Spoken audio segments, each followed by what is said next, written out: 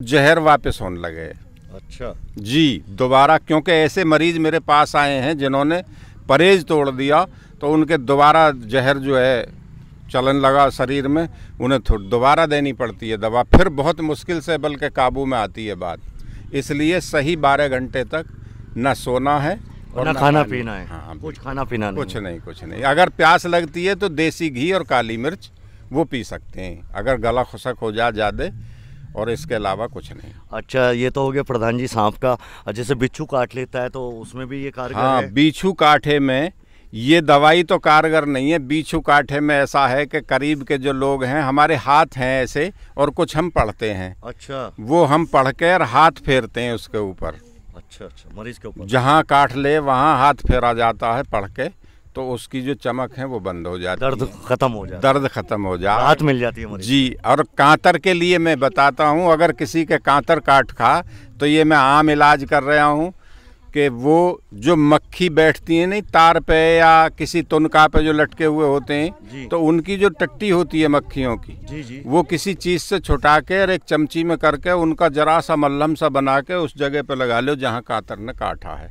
तो दर्द जो है तो ये घरों में जो मक्खी होती है आम जी जी आम मक्खियाँ जो घर घरेलू मक्खी होती अच्छा है अच्छा अच्छा। उससे दर्द बंद हो जाए बिल्कुल। चलिए साहब। और प्रधान जी क्या कहना चाहेंगे हमारे दर्शकों को? क्योंकि आज आपसे रूबरू हो रहे हैं चैनल के माध्यम से। हमारे लिए बड़ी खुशनसीबी है कि आप हमारे क्षेत्र में हैं हमारे इलाके में हैं और कहीं ना कहीं बुलंदशहर का अपने गाँव का अपने क्षेत्र का नाम रोशन कर रहे हैं। आसपास के ज़िले से भी मरीज़ आते हैं। जी, जी। और यकीनी तौर पर प्यारे व्यूअर्स हम चाहेंगे जो जहाँ जहाँ तक ये वीडियो पहुँचती है और ज़्यादा से ज़्यादा इस वीडियो को शेयर करें ताकि ज़्यादा से ज़्यादा मानवता के लिए जनहित के अंदर लोगों को फ़ायदा पहुँचे और आसपास के ज़िले और बुलंदशहर वासी जब भी कोई इतफ़ा किसी के यहाँ पे हो जाए तो वो सीधे यहाँ पर बिना देरी के, बिना ताख़ीर के वो सीधे जहरा गाँव आ जाएँ और यहाँ पर प्रधान जी अवेलेबल रहते हैं और इनको यहाँ पर वो तुरंत इलाज कर देंगे और आपके मरीज़ की जान बच जाएगी।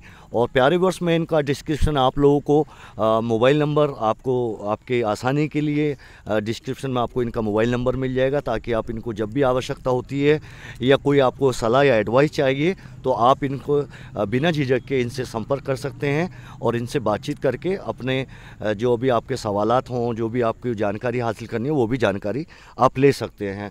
तो प्रधान जी ये तो लगभग इन तीस साल में कितने हज़ार मरीजों का आपने कोई गिनती नहीं है कितने मरीजों को ठीक करा होएगा अच्छा अच्छा। तमाम इलाके में और अच्छा, जाहिद भाई दो चार मरीज़ तो आपके गाँव के भी हैं। जी जी बेशक सही बात है। और मैं जानता हूँ प्यारे वर देखिए मेरे अपने परिवार से हैं बड़े भाई हैं और बिल्कुल चाचा जी का भी रिश्ता है एक बड़े भाई का रिश्ता है एक दोस्त का रिश्ता है और प्रधान जी समाज से भी रहे हैं पूरा खित्ता जानता है पूरा क्षेत्र जानता है हमारे सिविल अथॉरिटी के बहुत सारे अफसर इनको जानते हैं हमेशा जनहित में और जन सेवा के लिए, इंसानियत के लिए हमेशा बेबाकी से जब भी ज़रूरत पड़ी बुलंदशहर प्रशासन को हमेशा ये आगे बढ़कर कदम से कदम उन्होंने बढ़ाया प्रशासन और सरकार के साथ में इंसानियत के लिए, भाईचारे के लिए। प्रधान जी एक चीज़ और हम चाहेंगे अ, कोई ऐसी घटना बताएँ जिसमें आपको साथ में भी इलाज करने के दौरान भी आपको बड़ी समस्या घट जैसे कि आपने पहले मुझे बताया मुझे याद आ रहा है यशपाल भाई चौधरी मुद, मुद्री पहलवान जी के जो बेटे सत्य जो। ख़तरनाक सांप ने काट लिया ज़रा कुछ रोमांचिक घटना के बारे में आप बता दें हमारे दर्शकों को ज़रा। ऐसा है मेरे मेरे भी करीबी रहे मैं भी वहाँ उठे बैठे हाँ वो लड़का सत्य नाम है उनका जो मुंदरी पहलवान के लड़के हैं हसनपुर गाँव से? जी हसनपुर गाँव से यशपाल के भाई हैं। हम्म, वो सर्प ने काटे और जब उन्हें वो लेके आए तो मेरे यहाँ तक आते आते उनके पैर खिंचड़ गए अंधे हो गए और मेरे भी हाथ पैर फूल गए इसलिए कि मेरा उनसे पारिवारिक रिश्ता है। राइट और उन्होंने मैंने उनसे कही कि आप जो है जहाँ ले जाना चाहें मैं अपना इलाज तो कर ही रहा हूँ जहाँ आप ले जाना चाहें वहाँ ले जा सकते किसी अस्पताल में किसी हाँ मैं आपके साथ चलूँगा अपना प्रयास करता चलूँगा। तो उनके जो बड़े भाई हैं सत्य के यशपाल उन्होंने ये बात कही कि प्रधान जी हालाँकि सूमो आके खड़ी हो गई लेकिन यशपाल ने धैर्य नहीं छोड़ा और बत्तीसी बंद थी। दांत बंद थे दांत बंद थे आँखों से दिखना बंद था। बल्कि राकेश प्रधान जी जो मौजूदा थे, वो भी साथ थे, वो रोन लगे। यशपाल कहने लगा कि देखो, अगर सत्य बचेगा तो प्रधान जी की दवा से मुझे यकीन है, पहले भी इन्होंने नहीं बचाया। वो दूसरे केस पर ज़्यादा खतरनाक सांप ने काटे तो उसने, यशपाल ने अपनी उंगली से चमची गेर गेर के और उसकी बत्ती सी खोल के दवा का हमने अरख निकाल के ना के गोली दी। खाने की हालत तो थी ही नहीं। तो दवा का अरख निकाल के और वो जो है चमची से बत्ती सी खोल के गला मल मल के उसके जो है उतारी। जब करीब आधे तोले अरख उतर गया दवा का उसके बाद में बत्ती सी खुली फिर कुछ आँख खुली। एक घंटे के बाद पूरी आँख खोल दी लेकिन दिखना उसे जब भी पूरा नहीं। हमने भी दिखेगा था करीब करीब कई घंटे में।